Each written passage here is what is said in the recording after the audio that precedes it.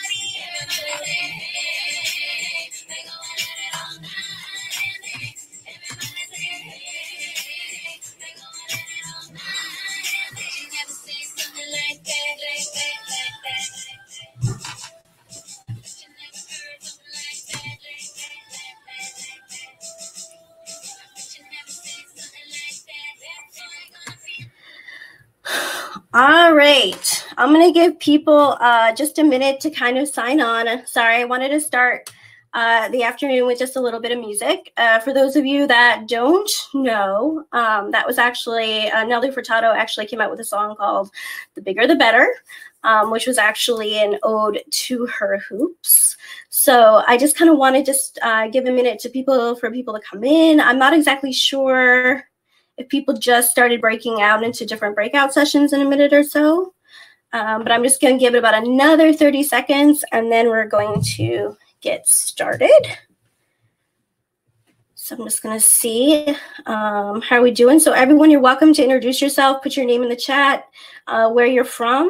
Um, I'm going to tell you a little bit about me, uh, but I'm I'm from Boston, so I'm actually in Boston, Massachusetts this morning. We're an hour ahead. And I can tell you that I just, that's why I said good afternoon versus good morning. Um, but please put yourself in the chat, say hey, uh, let me know where you're from. You're welcome to use the chat however you'd like. Yep, introduce yourself in the chat, maybe where you where you're hailing from, where you represent. Cool. All right. Indianapolis, get up to California. Cool. Okay, so I'm going to get started because I want to make sure that we have enough time to go through everything. Um, and so hopefully you guys have made it to the right breakout session. And if not, um, you are welcome to stay or you're welcome to try something else if this is not your jam. I totally understand it. Um, so today I'm going to be talking about um, uh, wearing your hoops and the idea of bringing your authentic self into your classroom. Um, so just really quickly, my name is Katie Caster. And I, like I said, I'm actually, I'm from Boston. I was actually raised in upstate New York. Um, and we're going to get started because I see we've got some people here. So I am excited. Here we go. And I'm also getting used to Crowdcast. I apologize. I have to toggle between two screens. Um, so just please be patient with me. All right. So this is me. Um, my name is Katie Caster, and I've actually been a teacher for about 14 years. I actually started in California. East Los Angeles um, was actually my first teaching job. And so I have been teaching, like I said, in public schools, charter schools, and as well as higher ed.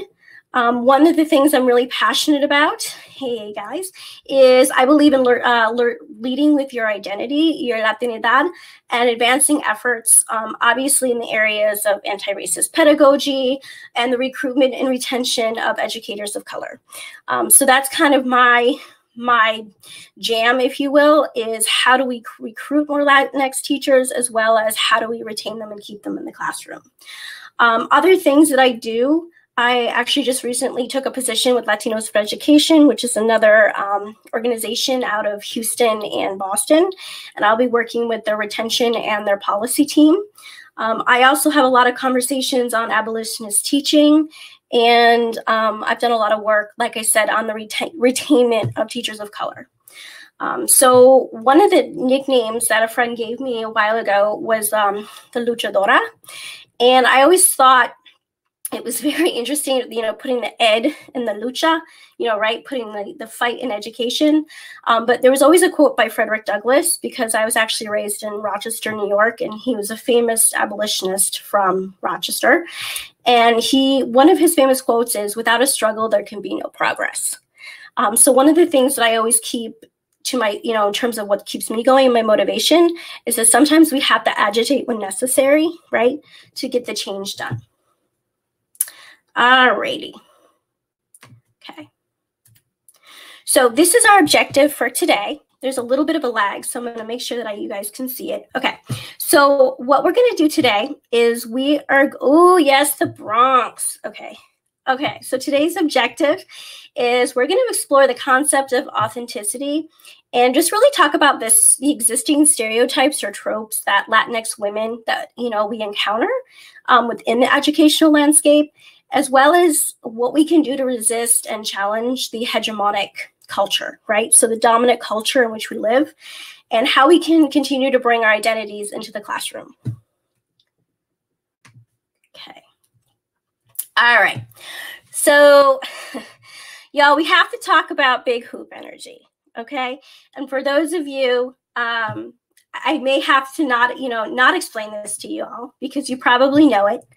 Um, but what is big hoop energy? So when I think of big hoop energy, and this is not my definition, this is actually ironically the Urban Dictionary, but um, they define it as that attitude, you know, it's knowing yourself, knowing your self worth, loving yourself, and not tolerating any BS, right? Um, those of us that may, you know, really um, you know have this work i've done this work before. It's you know it's putting on those hoops it's knowing how they make you feel. And so one of the things i included was this twitter message which actually made uh, its rounds when aoc was actually sworn into congress. Yeah.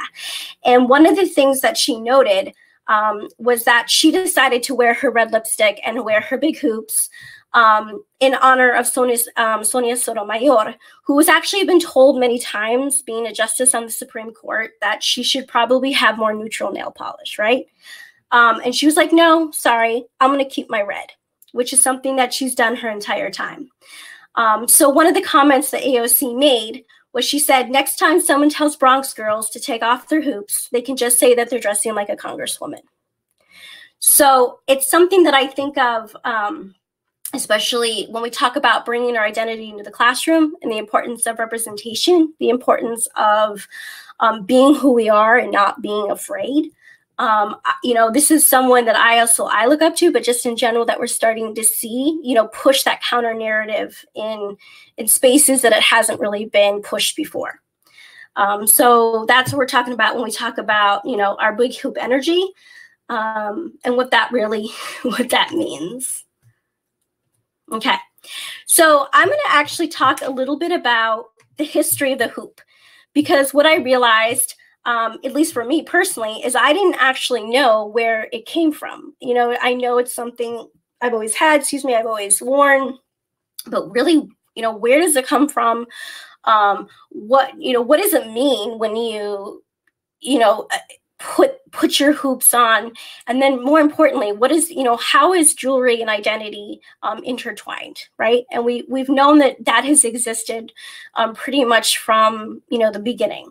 Um, we have evidence and this is actually interesting for me to learn too. We have evidence you know hoops were worn in in Egypt. They were worn in Sumeria, Nubia, which is one of the first uh, uh, civilizations. Um, the Romans, um, Indian culture, Grecian culture, which is Greece, um, the Americas, right? The Aztec Mayans. They everybody had some form of the hoop.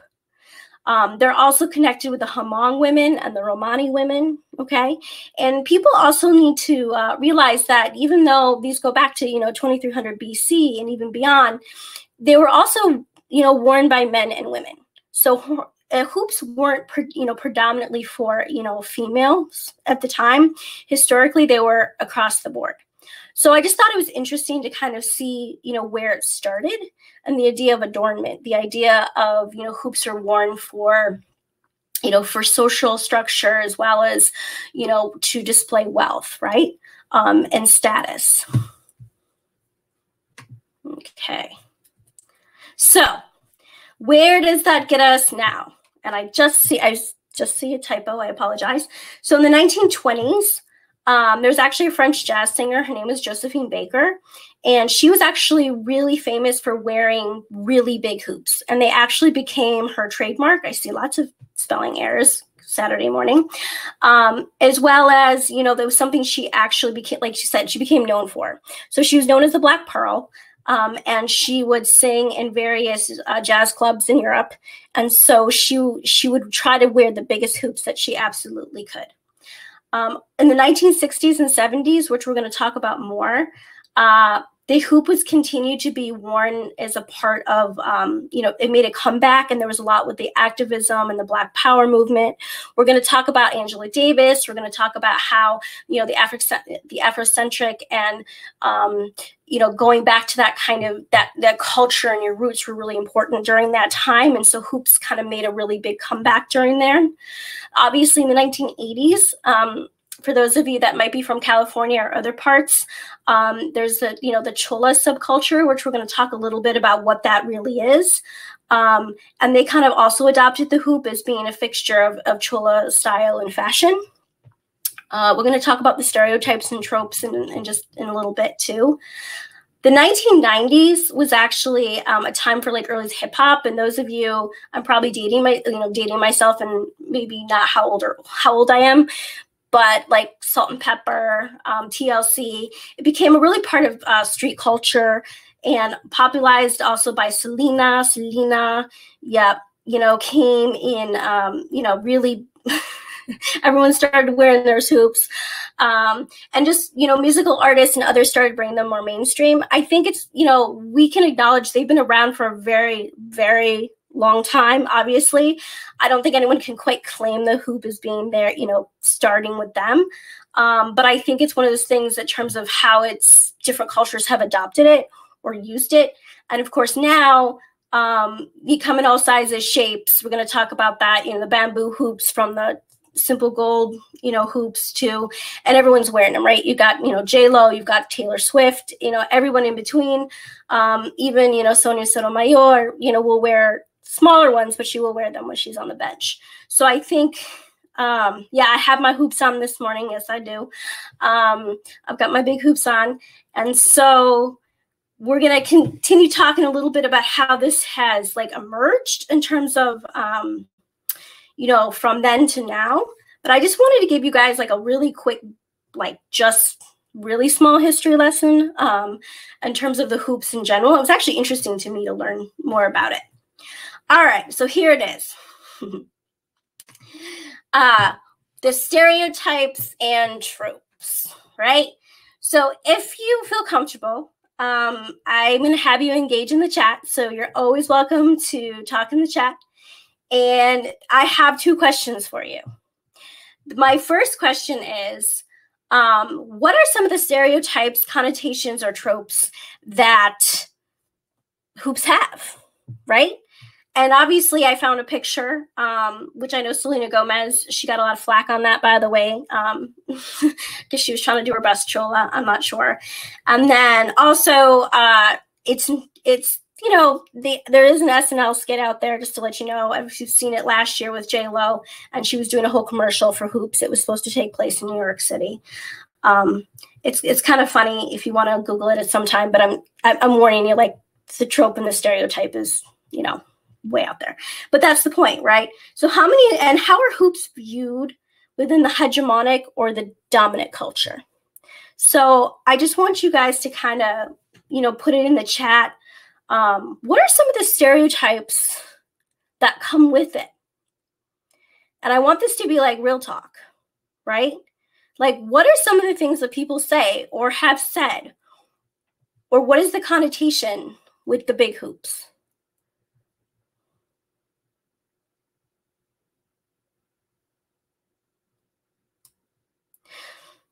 Yep.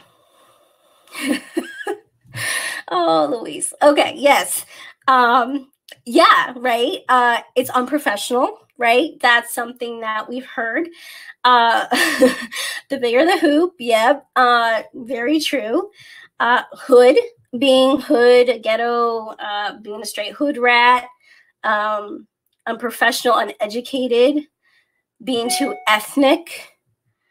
Um, yeah, so the, yep, yeah, or that they're cheap, low class. You did get a shout out, Luis. Yeah, we, we won't go there. The bigger the hoops. Yeah, it's interesting. Actually, the other piece, the other side to this, right? Um, having our um, some of the males in here is actually the connotations that go around with with girls and women that wear big hoops, right? Like, let's just be honest there too. Um, so it is very common in terms of and, and actually i think luis i think you would appreciate the quote i did use the quote from ll cool j's you know all around girl right um, i want a girl with extensions her hand bam- bamboo earrings at least two pair right so going back to that idea of being professional, unprofessional, being um, seen as being uneducated, being seen too ethnic, um, the idea of being hood or you know ratchet. Uh, I was talking to a couple other teachers who identify Latinx, Latina, and you know they were very honest and said they don't even wear them. Like they won't wear them at school, not because they can't, but just because they're afraid of the impression that it may or may not bring right into a professional environment. Okay. All right. So part of this workshop today is going to be about when we come again when we come against and we come you know to that wall of like microaggressions and questions or you know just the the tiny you know just the the the thoughts or the comments of like oh you know i like your hoops. They're so big you know things like that right?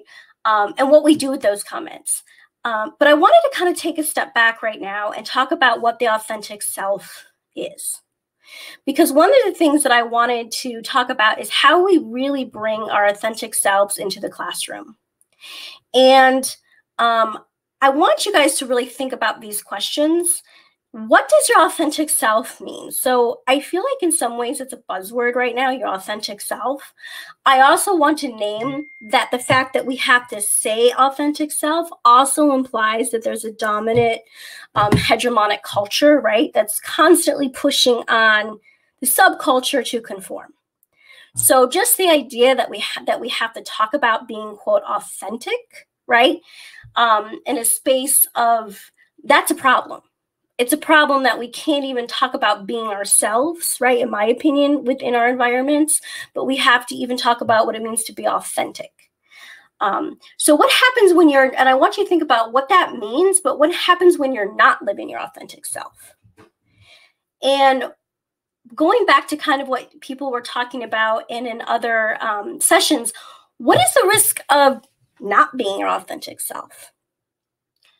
And on the flip side, what is the benefit for being your authentic self?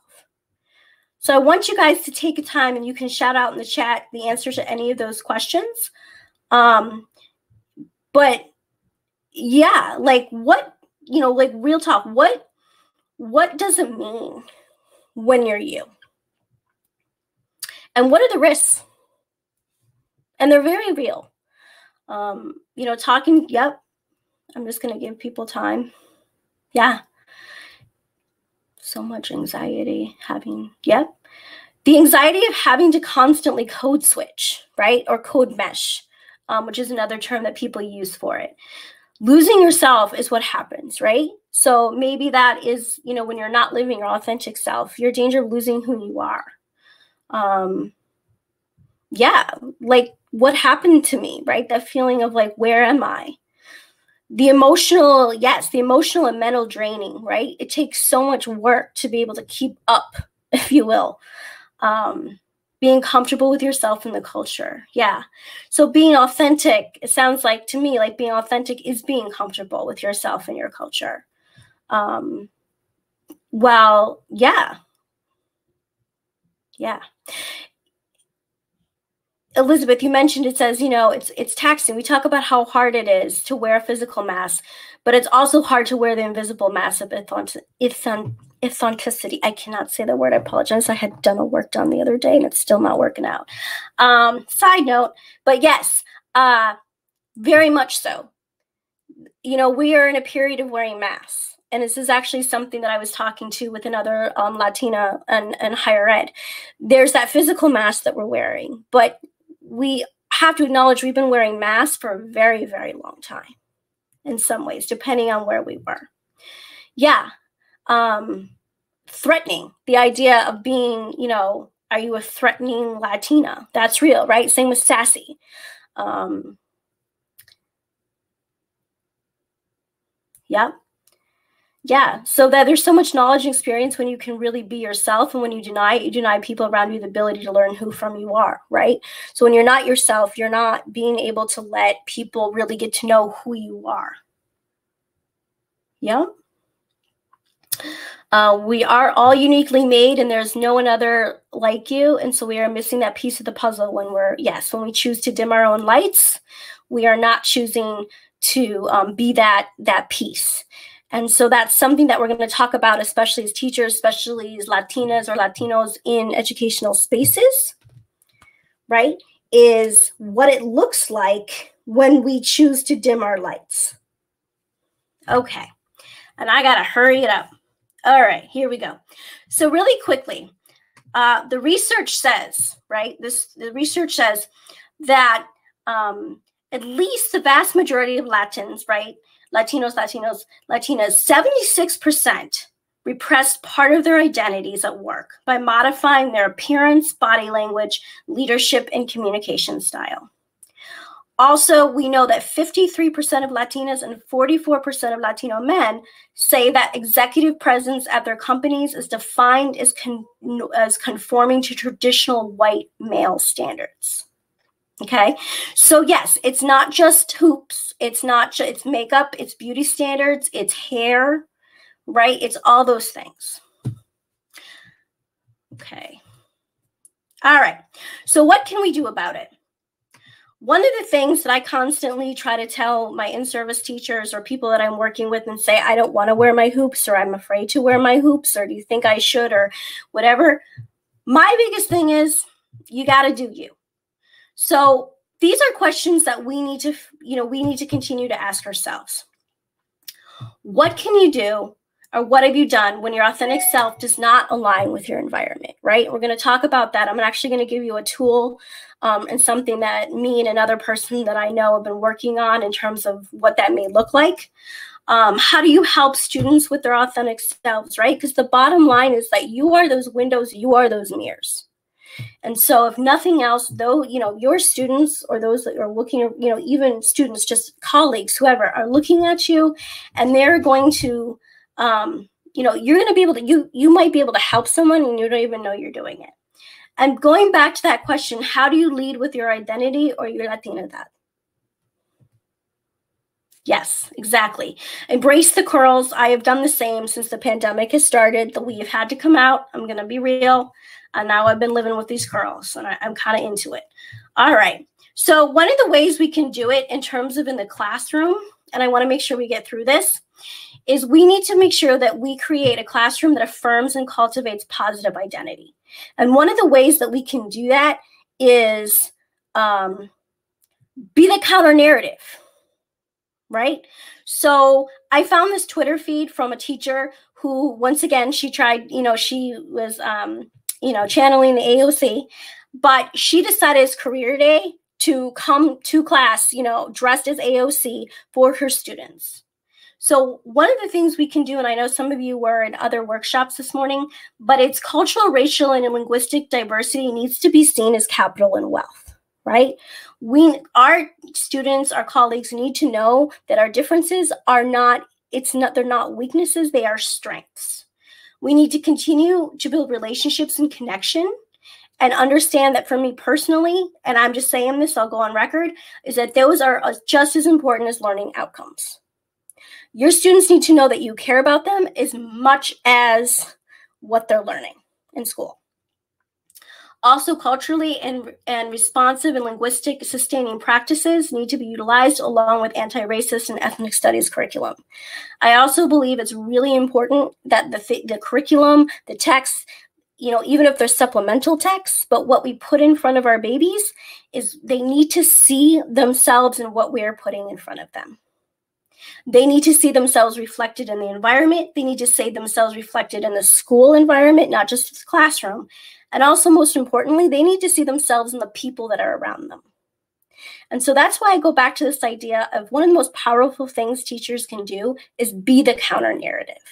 They can be that, you know, they can challenge that trope and that stereotype. Yes, I'm wearing my hoops. And you know what? Who else wears hoops is, you know, blah, blah, blah, blah, blah. And that's challenging the narrative and the story that has been set for us. Okay. So I cannot take credit for this. This is actually um, from her name is Dr. Zurkeda, and she's out of um, UCLA. And one of the things that she's been working on, she actually wrote her whole dissertation on hoops. It was called Big Hoop Energy. And she actually studied Latinas in higher ed administration. I would encourage you, if anyone's actually interested in, in her work and more of just the fact that I actually found another person that did their whole dissertation on hoops, um, was she's been working on this idea of the professional clapback, right? So, what happens when we're confronted with those microaggressions, right? And we're going to get into it, or we have that moment of, you know, how is this going to go? And for lack of a better word, it's that moment where you're like, all right, are these hoops coming off or not? Like, how is this going to go down? So, one of the things that she's been um, talking about is this idea that when we are confronted with these oppressive microaggressions, right, we can respond with this professional clapback and what that means is acknowledging what we may feel in the moment. So we're going to have that first reaction, like physical and mental, of like, oh, did you really just go there? You know what I mean? That that sense of like, oh no, like here we here we go. Um, and then what do we do with that? And so a lot of what um, she's been talking about is this idea of there are questions that you can ask yourself before you respond, right?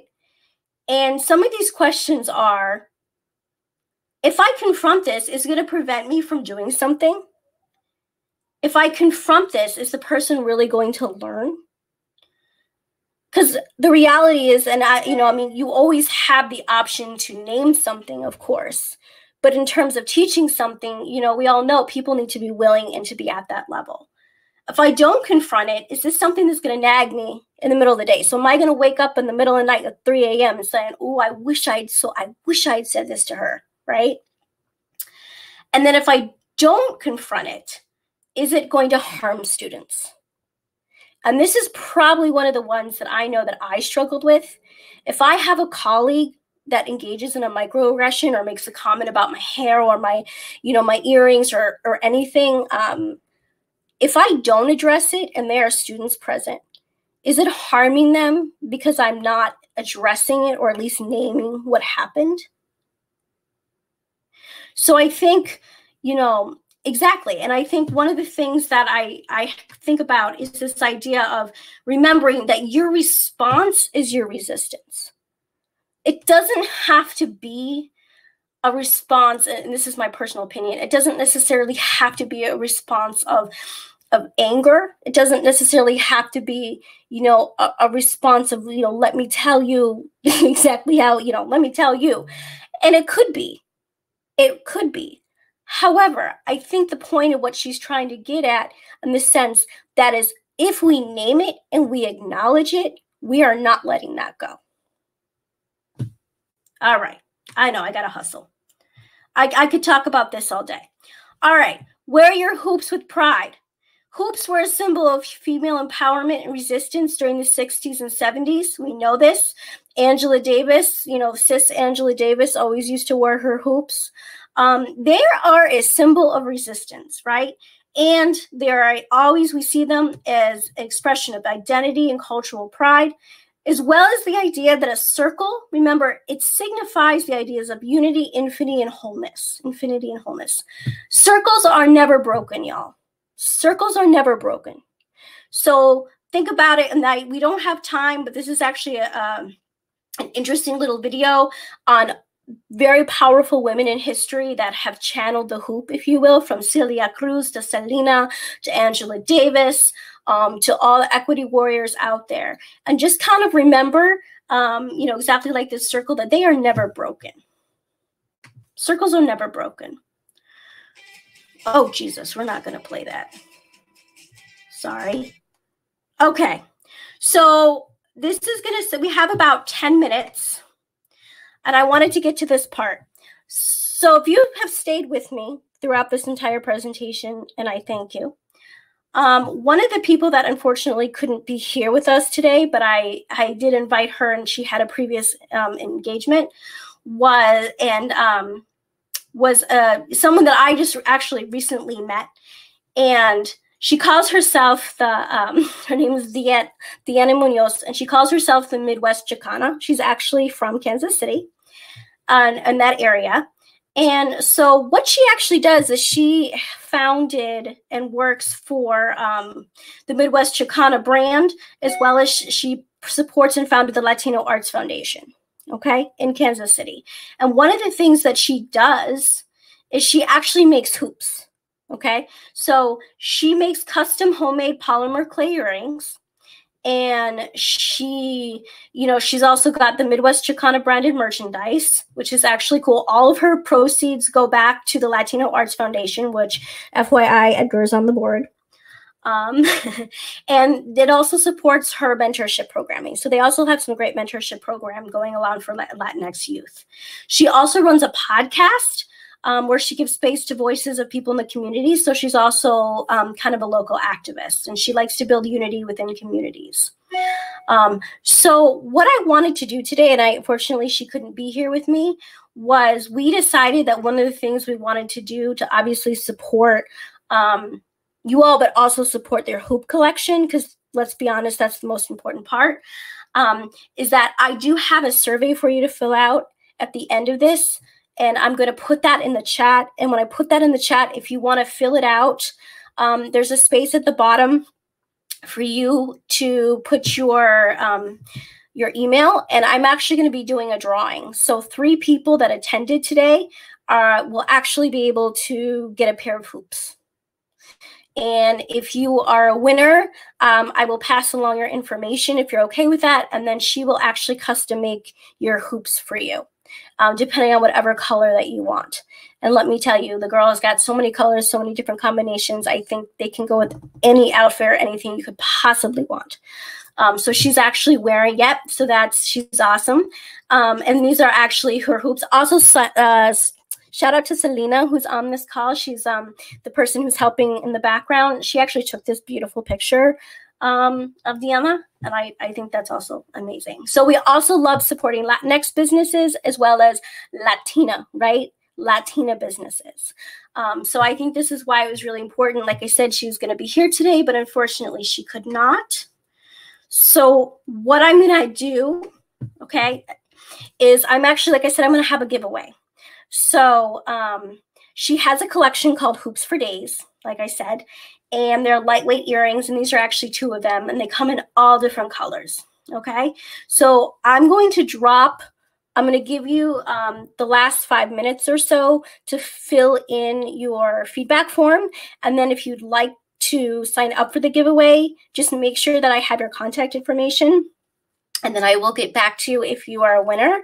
And then you will get to get your own pair of custom hoops. Um, Luis, I mean, Edwin, I'm sure it's exactly what you have wanted. Um, but don't worry because the holidays are around the corner. So if, you know, if, if, your name gets, I'm sure there's someone in your life that would love them. Um, and I'm not just putting it out there that you don't want them to. All right. Okay. So I, we have about five minutes or so. Um, this is the end of my presentation. I'm going to drop the feedback form into the chat in like 30 seconds. Um, this is my contact information as well. Everyone, you're welcome to check out my uh, website and my email, Twitter, LinkedIn. Um, and then, like I said, the music I was kind of playing earlier is actually called um, "Bigger the Better" Big Hoops by Nelly Furtado. I was trying to find, you know, I was trying to get the theme going. Um, so let me put the feedback form in for you, and then you are welcome to fill that out. I, I just wanted to make sure that you had enough time to fill it out. Um, hold on. Okay. I wanted to make sure that you had enough time to fill it out. So that way, if you wanted to be in the giveaway, you got it.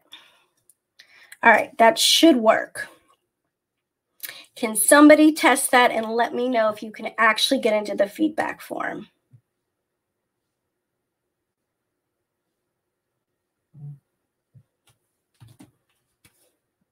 Oh, can oh, Beautiful. All right. So I'm going to give you time to fill out. I'm going to give you a few minutes to fill out that feedback form. And I know we're supposed to be back into the main session at 1245 for closing. But before I go, does anyone have any questions um, for me about presentation? Please be honest on your feedback form. Um, like I said, I'm, I'm, I'm good. I can take it. It's the only way it's going to get better.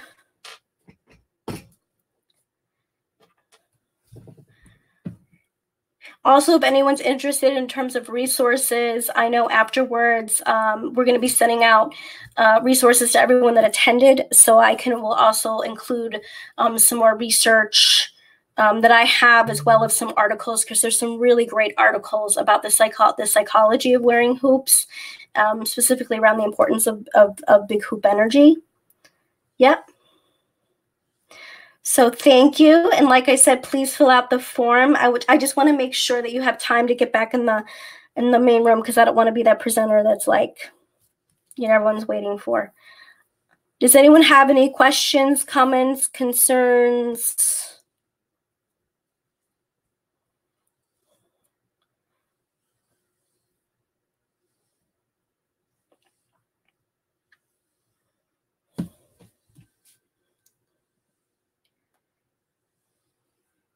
Okay. I don't work with the person who did the hoop research, um, but we've talked because she's in she's at UCLA. Um, but she actually her dissertation is available and she actually works at UCLA and I would encourage her. She will be part of my research. She'll be part of my resources that you'll get because um, I do think her work is obviously very fascinating and she specializes in actually Chicana identity. I do work with youth in this area. I've done a lot of work, um, a lot of summer programs, as well as I was a classroom teacher up till about actually this past year. And so I have run a lot of girls, group, uh, girls groups and do a lot of work on positive and affirmation of identity um, as well. And it's something that I want to continue to work with, even with teachers too. Um, I think this idea of how we bring our identities into our classrooms. I was talking to a male colleague who identifies as a black male, and he was talking about chains and tattoos um, in a very similar conversation of how those things and you know, are also um, the negative connotations that go along with that, and then how he chooses to present or not present himself within the classroom, right? So, yes, please feel free to connect. I'm very open. Please follow me on Twitter, but even just email me. I'm not doing a lot, so I will happy to answer.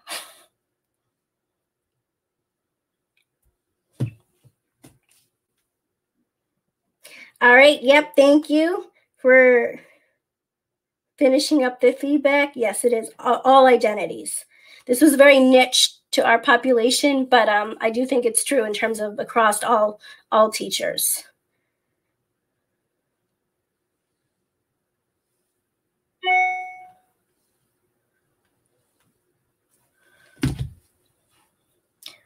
Okay, yep. All right, so I think we're going to transition now. So I will see you guys um, in the main forum for the closing. Thank you so much. Um, and thank you. Have a wonderful day. Gracias a todos. Gracias, Luis. Yeah, Luis, I'm sure. Bigger the hoop.